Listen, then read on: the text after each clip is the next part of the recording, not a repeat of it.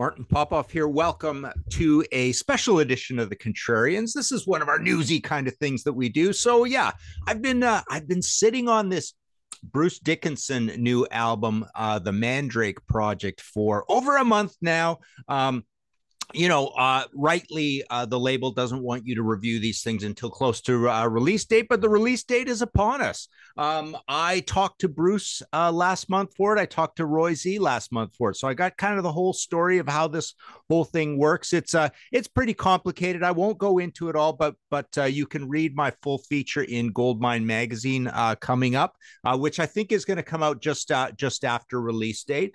Um, but yes, uh, this uh, so here's your here's your full review of the album. Uh, this is a record that uh, more or less most of it got done in 2012 so long long time ago um, but that does not uh, that does not stop this record from being i think hands down the greatest Bruce Dickinson solo album, better than the Chemical Wedding. Um, I'll get into a, a, few of the reasons why, but let's uh, let's just give a little background here. So you know, there's a comic book tie-in here as well.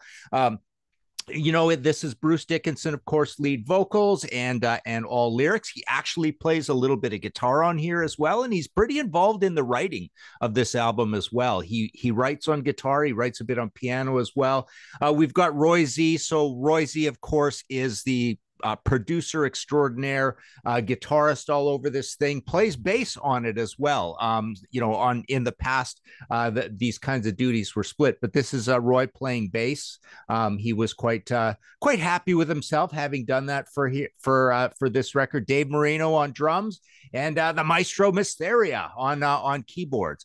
You know, there's going to be a whole tour uh, Tanya is going to be playing bass, and uh, they just added a, another uh, a guitarist as well. Um, but yeah, so so we've got a ten track album here. Uh, you've all heard "Afterglow of Ragnarok," and you can go to our review uh, of that song. I I went through it in super detail uh, when it came out as an advanced single.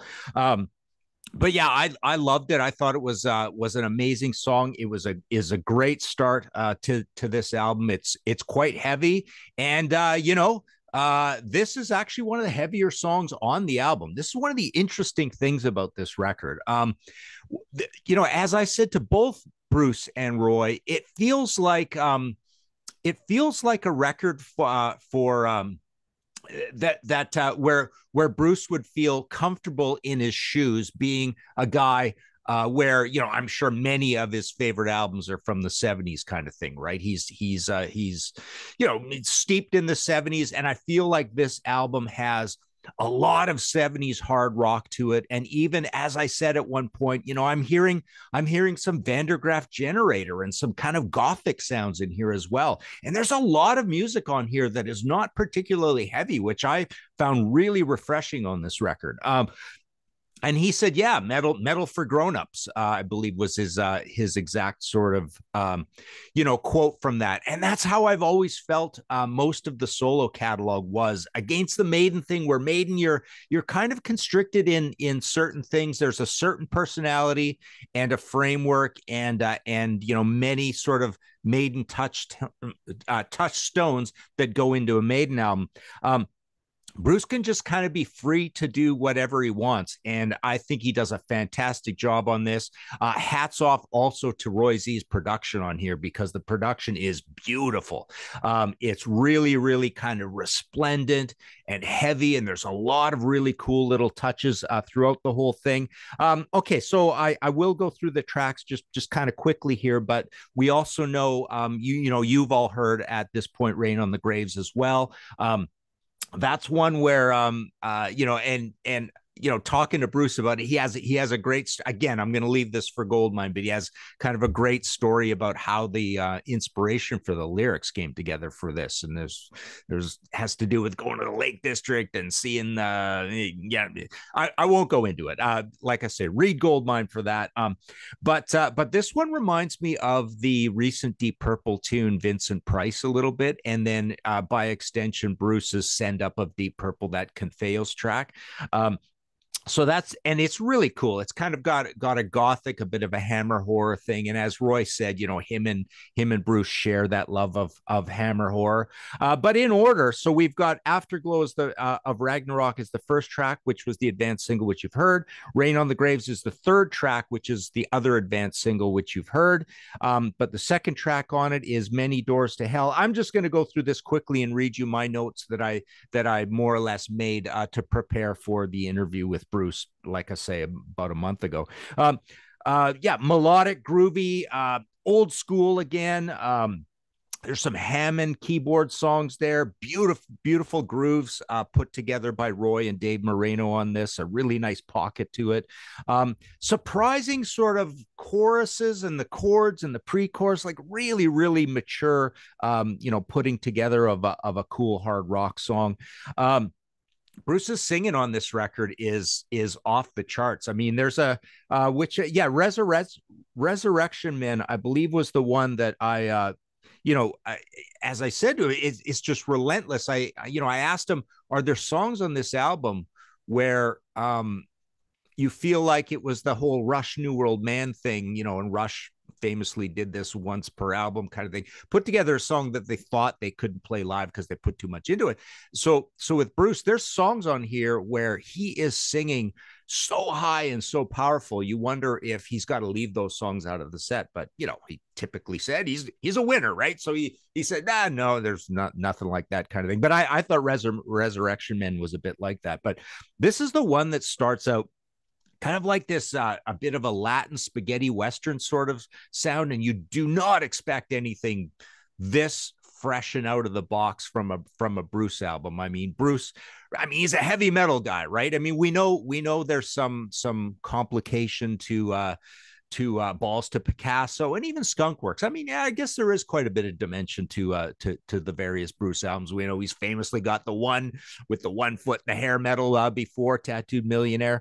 Um, but but honestly speaking, I mean, uh, Chemical Wedding, Accident of Birth, and Tyranny of Souls kind of feel like of a set to me, even though one of them is a concept album. But really, um, I, I feel like there's kind of like a no nonsense modern 90s metal, very heavy metal vibe to it. That is not on this album, uh, except for one track that I'm going to get to. Uh, Fingers in the Wounds, uh, more keyboards, piano melody, um, almost like kind of a cross between goth and stadium rock uh, on this one. Eternity has failed. Um, so we know that this is the the early version of the song that Maiden would take over. And as Roy said, it's kind of like a reverse bring your daughter to the slaughter sort of situation, right? Um, but yeah, so this is the same as the Maiden song, but this is a Bruce song, and this is their version of it. And again, I, I think I think the production on this album just just just walks all over the production on Senjutsu. This is a beautiful, beautiful, um, you know, gorgeously high fidelity produced sort of album. Uh, Mistress of Mercy. Um, to me, this sounds very much like the first track on Accident of Birth, Freak. Um, it's it's really downtuned and grungy sort of metal. It's a it's a bit of an outlier on this album.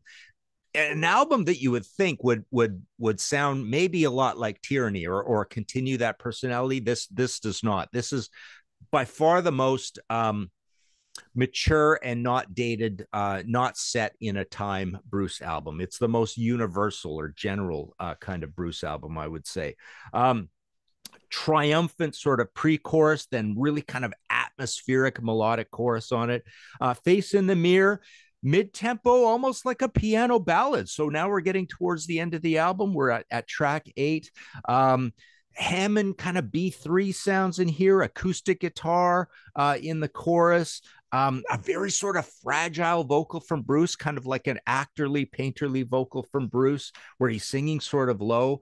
Um, Shadow of the Gods, again, now we're up to track nine, and we've got a long song that is um is mostly kind of mid-paced and doomy and dark semi-balladic i would say uh, that's a weird word to say eh? um, but it's it's kind of ballad based um, but then uh, it gets fast and chugging for the last half um, bit of almost like a thrashy vocal put in here um, sort of a dirty priest vibe uh, in here a uh, bit slow thrash uh, at one point weird weird kind of gutted guitar tone on it. Um, so yeah, they, they are really playing with the sounds on here a lot. And and yeah, that whole that whole spaghetti western thing just blew my mind when I heard it the first time. It was really kind of a cool thing. And then we get to track 10 and this is again this this um underscores the the craziness of this record that the the what you don't expect sort of thing. So literally um we've got um you know towards the end even with eternity has failed uh and I would say I would say fingers in the wound as well. So towards the second half, you're getting some things that are non-obviously heavy metal or getting a little bit away from heavy metal here. Um, but with Face in the Mirror at track eight, uh, Shadow of the Gods, seven minutes long at track nine, and then 10, you've got Sonata, Immortal Beloved. So this is a this is a uh, musically inspired. Roy uh, saw Immortal Beloved and uh, and said to Bruce, "Hey, what do you think about this for an idea?" And Bruce goes, "Well, that's pretty out of the box. I don't know if we can do anything." But then Bruce just they kind of went one take and went really kind of into this. And Bruce says it it's a it's a uh, it's sort of a um, it's a process he he rarely does but he just said i'm just going to start talking off the top of my head uh, for this. And what they came up with was uh, was a nearly 10 minute song that is kind of like a dark hypnotic slightly maiden-esque slightly ballad-esque although bruce took issue with my um you know calling it that. It's like it's like he said, well, what's a ballad, right? Um, you know, something without without the heavy guitar bit in it, kind of thing. It was pretty funny, but but it, he's he's right. I mean, it's uh it's so creative and well put together and interesting and emotional that you know calling something a ballad i always hated that word ballad melodic uh, doesn't really give it give it credence um, it's kind of got a mid-tempo vibe to it uh, and it sort of stays like that the whole time this is a this is a long song um, so you've got you've got you've got you got 17 minutes uh, even more. You bring in another song just earlier. You've got 25 minutes uh, towards the end of this album that that is this really cool mature kind of 70s slash goth Van der Graaf generator stadium rock goth i don't know what to call it. Um, aspect of this record. So there's a lot of variety and cool pacing. I'm glad that it's only 10 tracks, but these are really long tracks, uh, mostly. We've got sixes, fives, sixes. Um, and and yeah, like I say, I mean, I think already what you've heard from this album with the two advanced singles is uh is the livelier stuff on here, which is kind of interesting. Um, I think it gets more moody and introspective. And uh, like I say, it's somebody sort of comfortable where they come from uh, with lots and lots of of 70s hard rock and maybe a bit of prog, but there's there's not really any prog on here. There's no crazy craziness, right, in terms of time signatures and things like that. Um, but but in terms of arrangements and and nice little touches uh, crossed with early 80s sort of things and just a very general interesting creative um, like I say, super mature vibe on here. Um, I think Mandrake Project absolutely, or the Mandrake Project is absolutely um, the very best Bruce Dickinson uh, album. So uh, be interested to hear what you guys think. Um, as i'm as i'm talking here i think we're a week away or something from the from the release date. Um, but uh, but yeah it is upon us. Um, i think you guys are really going to like this album. Um, it is uh, like i say very creative and quite unexpected in a lot of places uh, from Bruce. Uh, so there you go. Um, be interested to hear what you guys think in the comments. Uh, you can join our uh, Patreon situation if you like. Uh, that gets you onto these panels we've been doing. I, I find those super rewarding being part of those because a lot of great concepts come up. One we just had go up on Queen the Game. I loved all all the really interesting stuff said about the game. You know, over the course of an hour by these wise music swamis who are part of um, our Patreon situation. But uh, there you go. Um, so to prepare yourself for this album, go go take another listen listen to Afterglow of Ragnarok and uh, Rain on the Graves.